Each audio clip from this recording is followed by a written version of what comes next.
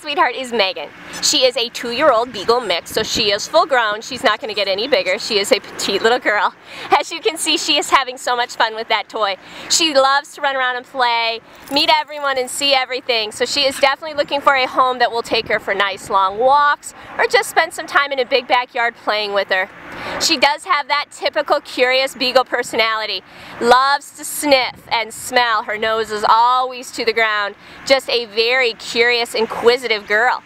While she's been here at the Humane Society, Megan does prefer to go to the bathroom outside and she does walk very nicely on a leash.